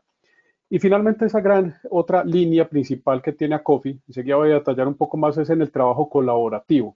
ACOFI, pues en, durante toda su existencia y con mucho más énfasis en los últimos años, ha venido trabajando en gran medida, primero con otras asociaciones de formación a nivel latinoamericano, pero también, por ejemplo, con asociaciones profesionales, la Sociedad Colombiana de Ingenieros, la SAI aquí en Antioquia específicamente, mucho con los consejos profesionales. Entonces, ese, ese tema colaborativo o eso que hemos venido, digamos, eh, agrupando las diferentes entidades que tenemos que ver con la ingeniería, tanto en la formación, en la ejecución de sus profesiones y en la vigilancia de la ingeniería, pues es un trabajo muy importante de relación que tiene ACOFI. Y entre todas ellas se reconoce el liderazgo de ACOFI como esa entidad que permite hacer esa convocatoria.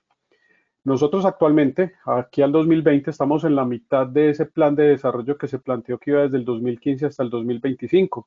Como vamos en toda la mitad, pues es el momento de revisar nuestras líneas estratégicas. A partir de esa revisión, mirar primero cómo estamos frente a lo que hemos, digamos, planteado que debería ser el énfasis de ACOFI.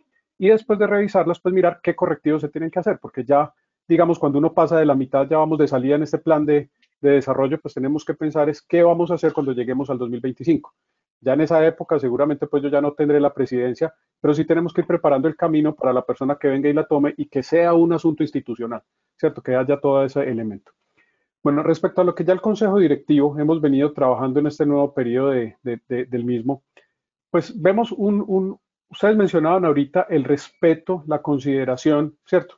Ese referente que es a COFI frente a muchos, eso nos define más o menos frente a lo que hoy en día se conoce como los think tanks o los tanques de pensamiento. A COFI es realmente un tanque de pensamiento que eh, yo creo que a todos les ha pasado, en, mucho, en mi universidad pasaba, cuando uno pensaba algo, como ustedes lo decían, de vamos a hacer un nuevo programa en X o Y temática, pues lo primero que se pregunta es, ¿y qué dice a COFI? ¿Cierto? ¿Qué es lo que opina COFI sobre eso? ¿Qué es lo que ha generado a COFI como documentación respecto a eso? Entonces, en ese tema de la convocatoria, la capacidad de convocatoria, el respeto que tiene a COFI, eso es un, un, un intangible que es invaluable frente a lo que hoy en día es.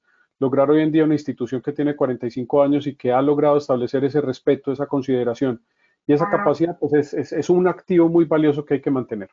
Frente a lo que nosotros hemos venido hablando en tema de qué debe hacer como, como a COFI en términos de ese tanque de pensamiento, pues vienen preguntas muy claras como cuáles van a ser las profesiones en el futuro.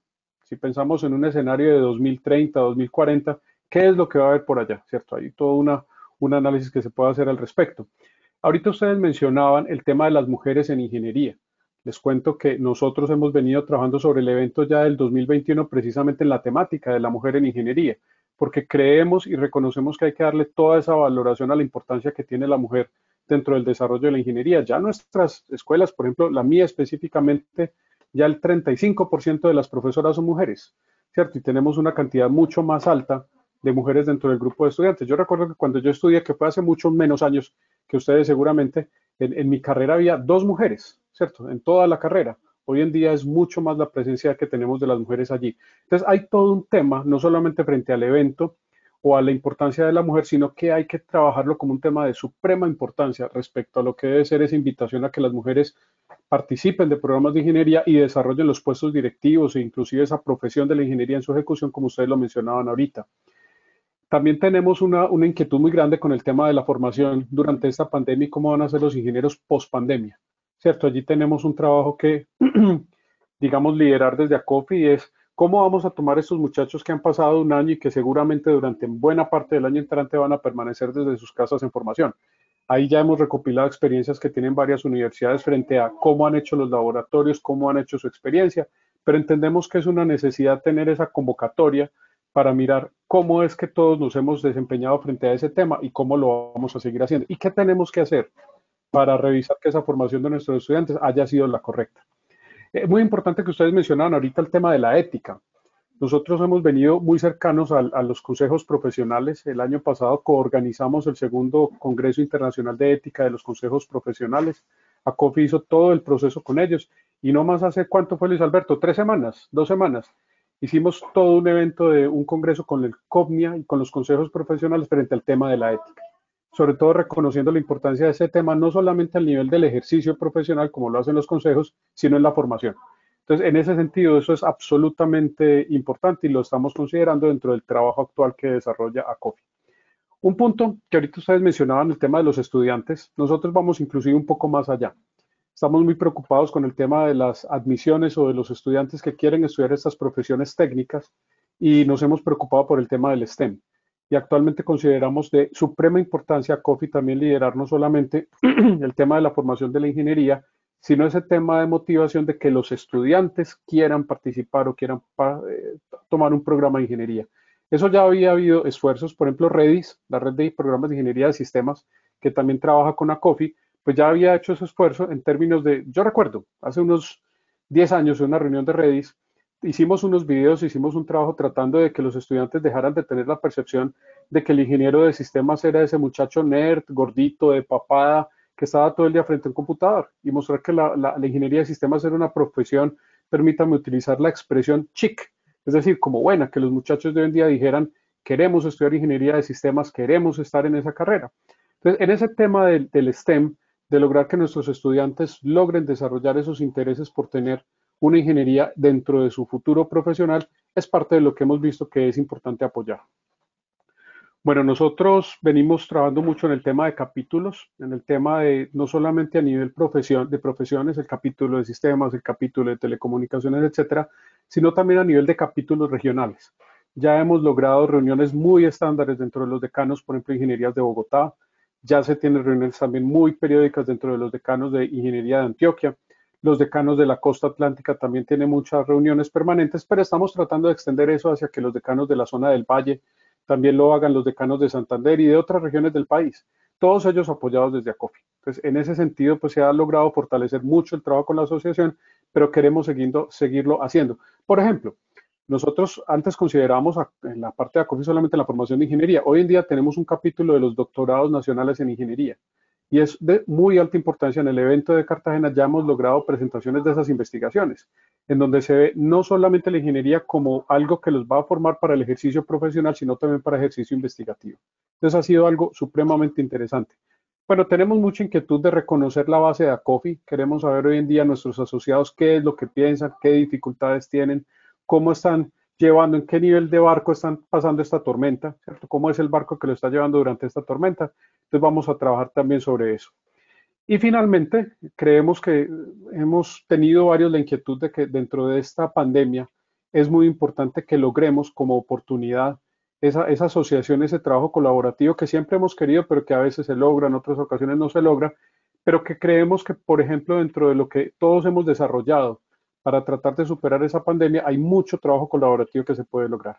Y allí también son otros proyectos que estamos pensando desde el punto de vista de ACOFI. Entonces, como ustedes lo ven, siempre orientado dentro de ese elemento de la calidad, dentro de ese elemento del relacionamiento y sobre todo el trabajo del equipo con las diferentes instituciones que conforman la ingeniería del país. Muchas gracias, Alex. Muchas gracias, ingeniero. Gracias, gracias, ingeniero Roberto Carlos, por sus palabras y por presentar una perspectiva de ACOFI en el mediano y largo plazo. Para continuar con este ejercicio de visualizar eh, ACOFI, queremos que el ingeniero Luis Alberto González, el director ejecutivo de la asociación, nos comparta con cuáles actores eh, ACOFI mantendrá ese relacionamiento para ampliar sus objetivos y también para alcanzar esos objetivos misionales. Prácticamente están todos mencionados, como, como indicaba el profesor Pinilla, ya es difícil decir algo, algo diferente, algo, algo nuevo, pero creo que es importante destacar algunos. El, profesor Incapié mencionaba los consejos profesionales, sin duda yo creo que han sido uno de los aliados fundamentales en este ciclo de trabajo en, en, en, en ACOFI. creo que el, el, ejercicio ético de la profesión debe seguir siendo una gran preocupación y más en, esta coyuntura que estamos em, viviendo y, sin duda lo que nos espera eh, post pandemia, tenemos que seguir siendo promotores de ese ejercicio ético de la ingeniería y sin duda los consejos profesionales tienen una una voz muy, muy importante en ese sentido y esta alianza sin duda debe fortalecerse.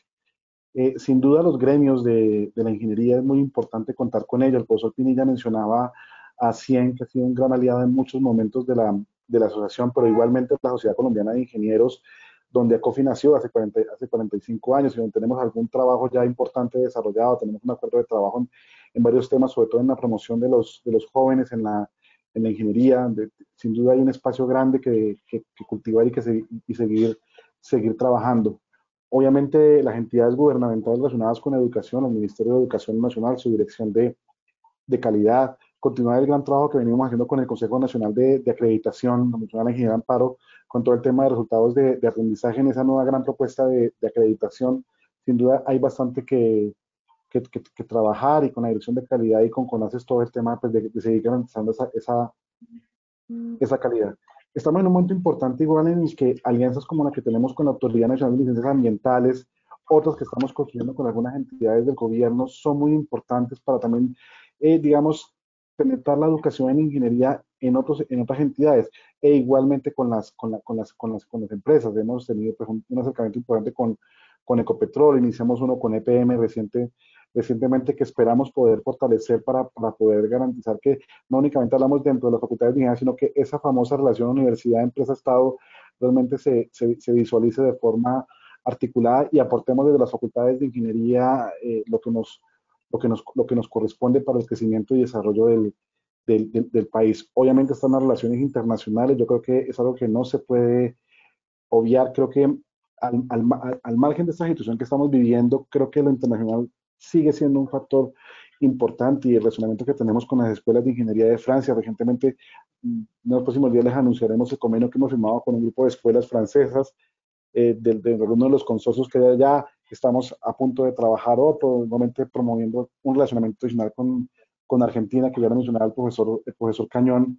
Creo que es importante seguir manteniendo ese tipo de relaciones, pero en beneficio no de ACOFI, sino de todas las facultades de ingeniería del, del país, en el que se traduzcan pues, convenios efectivos y cooperación entre las facultades de ingeniería de esos países. Creo que es parte de los grandes retos. Yo creo que el profesor Incapié lo, mencionaba en ese desarrollo de plan estratégico, como en esta ya fase final de este plan estratégico de 2015-2025, que nos impondrá pues muchas cosas, de ratificar algunas que hemos hecho bien, otras seguramente habrá que, me, habrá que mejorarlas como hace parte de este proceso, pero que sin duda deben contribuir a fomentar esa excelencia en las facultades de, de, ingeniería.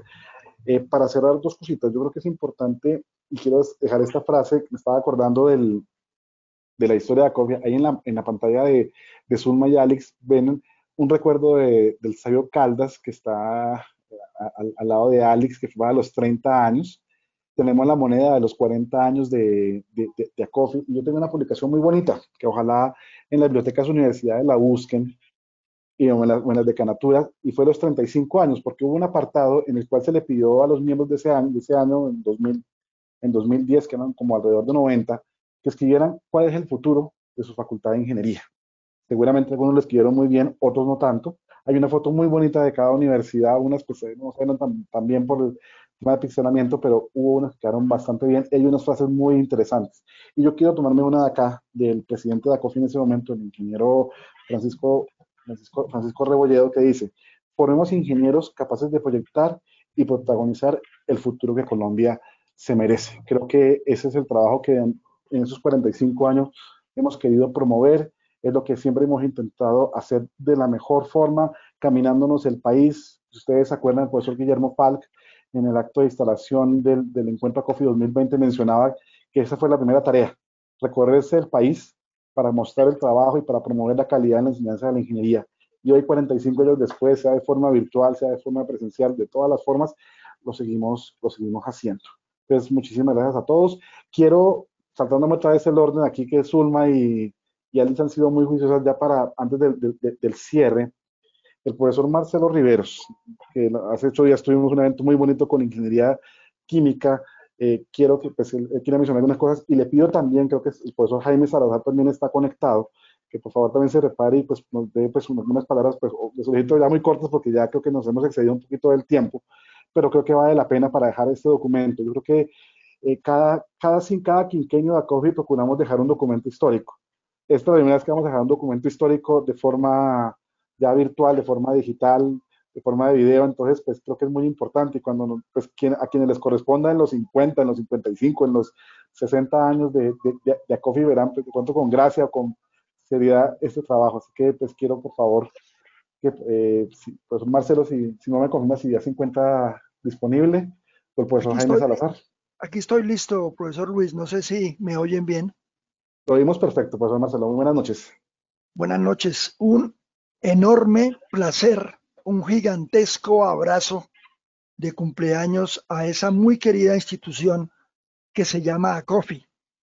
Un poquito de anécdotas, voy a tratar de, de, colaborar con el recreo, no sin antes recordar que el lunes pasado me encontré, comillas, virtualmente con el ingeniero Roberto Incapié en el conversatorio sobre Matilda.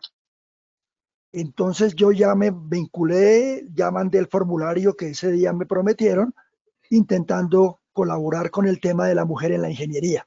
Y hace ocho días, como lo recordaba Luis Alberto, estuvimos en el lanzamiento del libro Una mirada a la ingeniería química, un proyecto de la red de ingeniería química REDIC y, del, de ACOFI con el Consejo Profesional. Eh, yo tengo el primer recuerdo de ACOFI justamente en el año 1975. Yo estaba recién entrado de profesor a la Universidad Nacional. En el año 75 yo entré el primero de febrero y recuerdo que mi amigo el decano de esa época, también recién llegaba a la decanatura, eh, Vladimiro Camacho Rodríguez, que firmó el acta de constitución de ACOFI por la Facultad de Ingeniería, eh, nos comentaba un grupo de amigos sobre ese proyecto, que qué opinábamos. Entonces, de alguna manera, él nos compartió unos documentos y digamos que desde allí yo comencé a conocer cuál era el proyecto ACOFI. Pero digamos, eh, entré en la, en, la, en, la, en, la, en la onda, digamos, del profesor nuevo, me aparté un poco de, de, de estos temas, pero ya un poco más eh, vinculado en forma a la institución, recuerdo cosas como estas. En algún momento, eh, recuerde Luis Alberto, ACOFI fue seleccionado por el Ministerio de Educación para ayudar a hacer convalidaciones de títulos en el exterior. Y yo recuerdo que yo fui contratista de ACOFI en la vieja sede allá del Camilo Torres. Y entonces allá en la salita del segundo piso nos reuníamos y yo hice algunas convalidaciones a través de ese convenio del Ministerio de Educación. Luego vino la experiencia famosa de SAAPI, donde yo estuve pues muy metido a fondo. Recuerdo que como fase final del proyecto se hizo un piloto en la Universidad Industrial de Santander en Ingeniería Química. Yo estuve con un ingeniero de apellido León, mexicano, del Instituto Politécnico Nacional, y estuvimos en la UIS haciendo esa evaluación y entregamos el informe, el famoso SAPI. Me parece que ahí estuvo involucrada la ingeniera Victoria Beatriz Durán también. También recuerdo, eh, obviamente, eh, con Alvarito Pinilla y con todo este combo, el tema de Patricia Martínez allá en la meroteca que nos reuníamos a las famosas 140 y pico áreas de ingeniería. Y yo le agregaría al profesor Julio, eh, claro, inolvidable las anécdotas de la ingeniería capilar. Tal vez faltó comentar que eran dos énfasis. Una era en, CASPA, efectivamente CASPA 1 y CASPA 2, pero ya, ya estaba planeada una especialización en calvicie. Eh, había otras especializaciones un poco más complicadas que estamos en horario para niños y que no podemos comentar, pero también tenían que ver un poquito con la, con la ingeniería capilar, que también lo discutíamos muy a fondo con el famoso grupo al que hizo mención el profesor Cañón, con los de ingeniería. Éramos el famoso grupo gay, entonces eh, no vayan a pensar mal. No era, no era que no hubiéramos salido del closet, no. El grupo gay, famoso en ingeniería, era grupo de autoevaluación de ingeniería y éramos uno por cada una de las ingenierías, con Jaime Salazar, con Ernesto Abril, con Fernando Herrera, Julio Cañón, eh, Jaime Malpica y el suscrito, y realmente hicimos un trabajo que después lamentablemente nos lo archivaron, pero fue una experiencia absolutamente impresionante en estos temas, donde nos pusimos un poco al día. Y sí, efectivamente fuimos de los primeros que fuimos a parar al, CNA cuando comenzaron las acreditaciones de alta calidad. Y algo final, para comentar con todas estas anécdotas sueltas, mi cariño, mi admiración, eh, mi respeto inmenso por ACOFI, de alguna manera siempre hemos estado muy pendientes de la asociación. La cátedra Garavito cuando se inauguró, eh, Luis Alberto nos llevó unos documentos de esas publicaciones hermosas que ustedes han hecho con Carlos Cortés, la de Garavito, la de Caldas, la del himno de Pombo. Pero hay algo que me parece muy interesante comentarlo, donde son un común denominador Julio Cañón, Álvaro Pinilla, y es la herencia de esa chispa de ese humor fino bogotano espectacular, herencia de Eduardo Silva.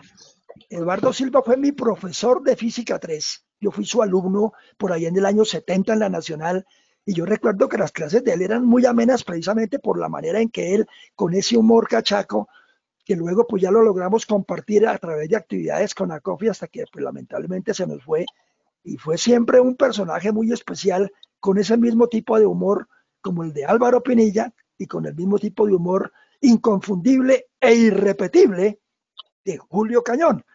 Permítame una anécdota, una anécdota final. Estábamos en una despedida de fin de año en la sala de profesores de la Facultad de Ingeniería y el profesor Ernesto Abril, que era miembro del famoso grupo GAI, con unos traguitos fue a salir tipo una de la mañana de la sala de profesores y al salir se cayó al piso.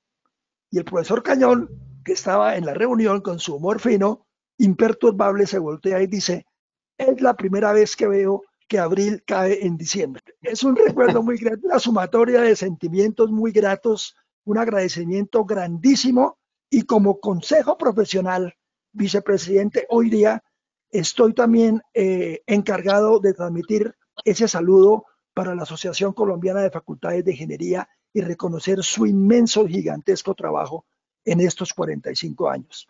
Gracias por la oportunidad y un inmenso abrazo para todos. Gracias. Ingeniero Marcelo, muchísimas, muchísimas gracias. Muy grato escucharlo. Recibimos hoy el mensaje del, del Consejo Profesional de Ingeniería Química de, felicitación por los 45 años a través de su directora, la ingeniera eh, Darly Miranda. Muchísimas gracias por ese, por ese mensaje. Está en nuestras redes sociales, en las redes sociales del, del Consejo Profesional de Ingeniería Química. Ingeniero Jaime Salazar, muy buenas noches. Bueno, no, para mí es igualmente un gusto, una satisfacción estar aquí compartiendo con ustedes en esas remembranzas de ACOFI y no con tanta cantidad de anécdotas que menciona el profesor Marcelo, pero, pero de todas maneras muy, muy reconocido y con gran complacencia estar aquí con ustedes. Se nos levantó el profesor Álvaro que le quería decir que lo hemos estado buscando mucho, muchos años atrás y querer eh, compartir esos almuerzos espectaculares a los cuales nos invitaban la Universidad de los Andes, lo cual espero que se vuelva a repetir, Álvaro. Espero que, que eso sea una, un pacto de, no, no muy lejano. Pues eh, realmente muy complacido, como mencionaba al comienzo. Creo que hay un punto fundamental. La COFI es es un, es un bastión fundamental en el referente de la calidad de la formación de ingenieros en Colombia. Y también citar dos elementos que me parecen importantes. En 1995, este proyecto de actualización curricular de programas de ingeniería en Colombia fue fundamental como referentes de calidad en las facultades de ingeniería en Colombia. El 85% de los estudiantes que en ese momento cursaban estudios de ingeniería tuvieron cobertura en esas áreas de ingeniería. Y curiosamente, el profesor Álvaro fue el relator y el que se encargó del libro de ingeniería mecánica. El profesor Cañón, el libro de ingeniería civil. Ustedes me podrán decir cuál libro fue un poco más amplio en su contenido que el otro. Fácilmente el del profesor Cañón, sin, duda alguna. Hola. Obviamente muy ampuloso y muy, muy, grande en su contenido y obviamente en su, en su esencia, pero la del profesor Álvaro alarmaba un poco porque era tan sucinto, pero tan conciso y preciso que no había más que agregar. Realmente fueron trabajos espectaculares que realmente fueron referentes y que le, le deben mucho la, la calidad de la ingeniería en Colombia, profesores y agradecerles aquí también ya que nos acompañan. Y también esto es fundamental porque para COFI los, la salvó económicamente. La COFI está en una situación muy complicada, estamos hablando de 1994, en la cual estábamos básicamente para cambiar de razón social y ese apoyo que el ICFE nos dio con ese proyecto de actualización fue fundamental para continuar y revitalizarnos mucho en esa parte a tal punto de era tanta la, austeridad que el profesor Eduardo Silva decía que en mi caso yo para contratar alguna cosa y para comprar una bolsa de leche pedía cotizaciones para poder ser un poco económicos y salir un poco de la crisis. También una parte que me parece importante a Kofi es el fundador de ACIBEI, de esta asociación iberoamericana que que todavía me soporta un poco en su secretaría ejecutiva a la cual le debo mucho el apoyo que tuve de ACOFI en su, en su momento y que ahora también con alguna intermitencia, pero se sigue dando, lo cual me parece fundamental y esa parte internacional que el profesor Roberto mencionaba, pues creo que estamos dispuestos en, en ACIBEI para darles todo el, brazo y el apoyo que consideren para salir adelante con todos sus proyectos. Pues no es muy grato, estamos en familia, realmente. Y quisiera solamente terminar y decirles que los aprecio mucho, que para mí es un hondo satisfacción estar aquí con ustedes y que decía Luis Alberto lo de Francisco José de Caldas, la, frase que le impartió al Colegio Militar en 1814 a estos graduandos donde les mencionaba, ninguno puede ser grande en una profesión sin amarla. Amad la vuestra y haced la amar de vuestros conciudadanos para una conducta noble, dulce y virtuosa.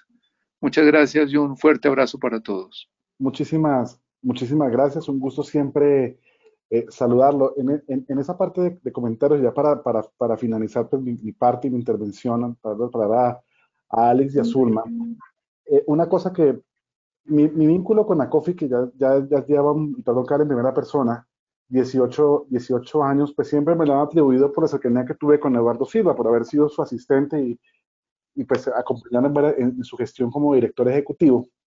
Pero en el, en, el, en, el fondo fue el profesor Jaime Salazar quien realmente me involucra en ACOFI. Siendo yo estudiante de ingeniería civil, en la Escuela Colombiana de Ingeniería, en los, en los 90, él cuando pues tuve una cercanía personal, fui compañero de estudios de una de sus hijas, él me regalaba, me regalaba los libros de Coffee. Obviamente yo no tenía ni la más remota idea que era Coffee. Y él me hablaba de la calidad y me hablaba de, me, contaba pues que en su casa, en la, con la familia, los libros de, de Acibey, que estaba el primer viaje a España o Argentina para crear Acibey. Y muchos viernes, me acuerdo que íbamos al aeropuerto a recogerlo cuando llegaba de la reunión nacional de, de ACOFI contaba la experiencia de los dos o tres días que tenían de, de evento.